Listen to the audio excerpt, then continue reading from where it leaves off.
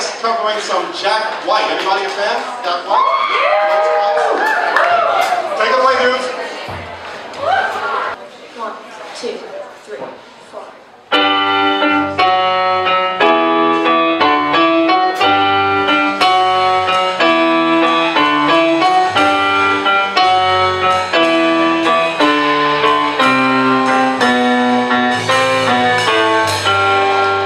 Boy, get into